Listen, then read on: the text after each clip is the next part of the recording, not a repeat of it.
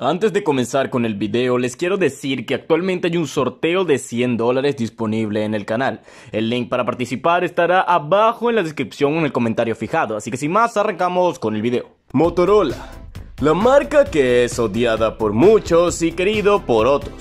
Una marca que representa historia y respeto en este mercado y de las pocas que ha logrado mantenerse viva a lo largo del tiempo. Recordando que Motorola es una marca que lleva bastante tiempo en este mercado. Y si quieres saber cuáles son los mejores celulares de esta marca para comprar este año y el que viene, te invito a que te quedes en este video. Mi nombre es Frank y vamos a arrancar con esto.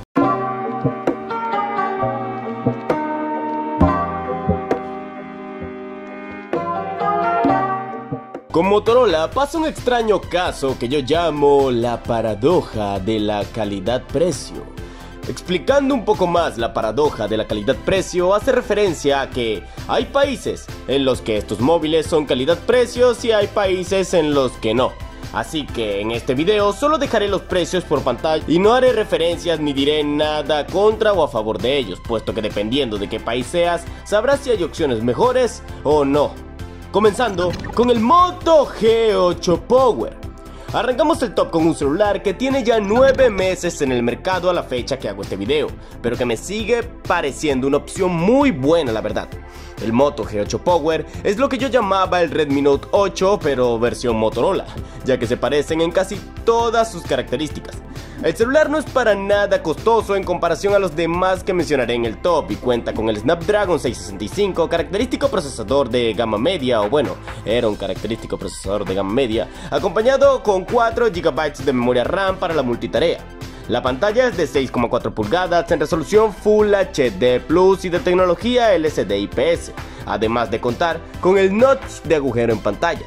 Las cámaras son bastante cumplidoras y versátiles, teniendo el sensor principal de 16 megapíxeles, acompañado de un gran angular, lente macro y sensor teleobjetivo.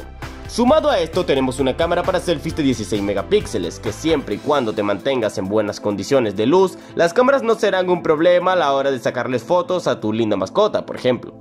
Las cosas a destacar de este celular son su batería que rinde muy bien, ya que son 5000 mAh con carga ya no tan rápida de 18 watts, su sonido bastante bueno, sus cámaras y su software al estilo más puro de Android. Y las cosas negativas quizás sea su pantalla y que su procesador se puede quedar algo corto de cara a futuro. Pero si no cuentas con un presupuesto muy alto, sino más bien uno ajustado, y te gusta esta marca Motorola, ya que en tu país los Xiaomi son bastante caros, te recomiendo este Moto G8 Power, que incluso a día de hoy sigue dando la cara bastante bien. Motorola Moto G9 Plus. Pero también hay que tomar en cuenta la novena generación de Moto G de Motorola que nos deja algunas excelentes opciones de compra, como este Moto G9 Plus. Su panel es de 6,8 pulgadas y de resolución Full HD Plus de la típica tecnología LCD IPS que seguiremos viendo incluso en celulares más tope de gama en esta marca. Nada que destacar y tampoco nada negativo para el celular. Este Moto G9 Plus cuenta con un diseño bastante bonito y único a mi parecer, y eso es algo a destacar hoy en día a las marcas. Su mal llamado procesador es el Snapdragon 730G, el cual es un procesador de Qualcomm destinado y optimizado para el gaming.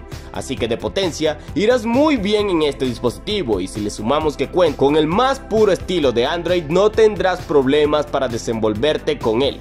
Además de que también cuenta con 4 GB de RAM que quizás sean algo justo y se eche de menos una versión con 6 GB de memoria RAM. Su batería es de 5000 mAh que se volvió tendencia en celulares gama media premium para tener una muy buena duración de la misma.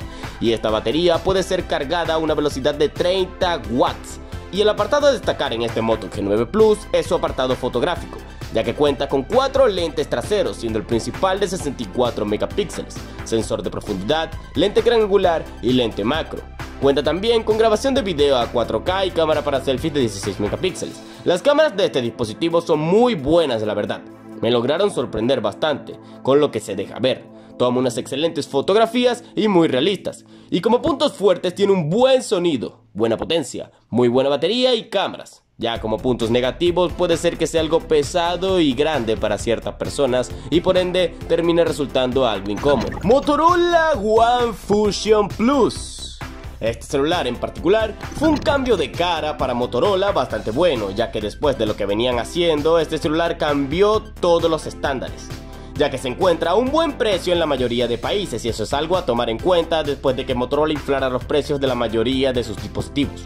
Cuenta con la típica pantalla LCD IPS que venimos mencionando y con un Snapdragon 730G. 5000 mAh de batería y unas cámaras muy buenas, siendo el sensor principal de 64 megapíxeles y el de selfies de 16.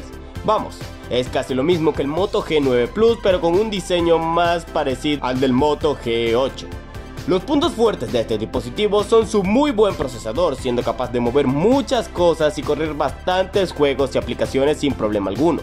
Las cámaras muy versátiles y con un sensor fotográfico bastante bueno a mi parecer, que te servirá en la mayoría de escenarios mientras no sean muy exigentes. Y su muy buena batería capaz de rendir el día de uso entero de manera exigente. Cosas no tan positivas son su carga rápida de 15 watts, eh, que el sonido no sea tan bueno y que su diseño de cámara retráctil puede suponer una ventaja para algunos y una desventaja para otros. Pero este Motorola en específico tiene pocas cosas que reprocharles y es una opción que puede combatir incluso con los calidad-precio de Xiaomi. Motorola Moto G 5G Plus. Y aquí estamos con lo que es, a mi parecer, el mejor Motorola en cuanto a relación calidad-precio se refiere, y también el Motorola con el nombre más difícil de decir rápidamente cuando estás ebrio. Y es que, por el precio de este celular nos ofrece muchas cosas, aunque el panel sea muy parecido y de mismas tecnologías como los celulares del top anteriormente mencionados, este tiene la cualidad de tener una tasa de refresco de 90 Hz bastante útil en algunos juegos y en los scrolls de la pantalla, ya que también los juegos se vienen optimizando para estas tasas de refresco. Esta pantalla cuenta con HDR10 y demás cosas. Potencia tendrás también, ya que su plataforma móvil es el Snapdragon 765 acompañado de 4 o 6 GB de memoria RAM.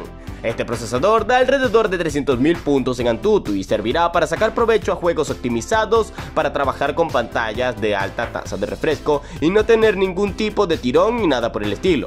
La batería son los típicos 5000 mAh los que Motorola nos tiene bastante acostumbrado con una carga rápida de 20 watts, aparte de tener el sensor de huellas en el lateral en una posición bastante agradable a mi parecer. Como cereza del pastel, si eres un afortunado que vive en un país desarrollado, pues este celular cuenta con tecnología 5G como su nombre lo indica, obviamente no se iba a llamar Moto 5G sin tener 5G. Así que, con un diseño único y todas las características anteriormente mencionadas, este celular es una muy buena opción de compra que yo recomendaría al 100%. Y este también puede ser otro que pelee con los calidad-precio de Xiaomi. Ya por último, pero no menos importante, el Motorola Edge. Y presten atención aquí, ya que estoy mencionando al Motorola Edge y no al Edge Plus. Si quieres una mejora con respecto al dispositivo anteriormente mencionado que ya era bastante bueno, es decir, pantalla con 90 Hz, de tasa de refresco, Snapdragon 765, pantalla con resolución HD Plus, una batería bastante grande, tecnología 5G y mejoras en los apartados que le falta, pues el Motorola Edge es tu opción, puesto que cuenta con todas las virtudes del Motorola Moto G5G Plus y además de tener una pantalla de tecnología AMOLED, mejores sensores fotográficos y con más megapíxeles, tanto en su parte trasera como en su cámara para selfies. Un diseño bastante más premium a mi parecer y como puntos positivos tenemos una excelente pantalla muy bonito diseño, tiene sonido estéreo, da en promedio 10 horas de pantalla activa, sus 90 Hz son muy buenos, es muy cómodo para ser un celular grande, muy fluido en su uso y viene con el tan importante llamado por muchos jack para audífonos. Como puntos negativos, tenemos que prácticamente no tiene carga rápida, siendo que esta es de 18 watts, que la cámara no es tan buena de noche y que su precio está algo elevado. Y bueno, aunque este celular no sea tan calidad-precio, estas cosas se derrumban en los países en los que yo mencionaba que existe la paradoja de la calidad-precio donde celulares como el Xiaomi Mi Note 10 Lite, que tienen prácticamente las mismas características que este, no es una opción calidad-precio, ya que cuesta el triple de su valor normalmente. Es ahí donde entra este Motorola Edge, y yo lo recomiendo porque me parece que seguirá bajando de precio y cuando baje aún más va a ser una opción muy calidad-precio. Se acordarán del Prime S. y bueno familia, como siempre les pido que dejen su like, que compartan el video, que se suscriban al canal y que me comenten, ah perro, traes el Ognitrix. no mentira. Recuerden usar su tapaboca, lavarse las manos y vacunarse cuando salga la vacuna para el COVID-19 que ya está próximo por ahí. Así que ya sin más nada que decirles, me callo un año, mi nombre es Prime y nos vemos en un próximo video. Por cierto, ya están cerca las vaya época tan bonita de la vida.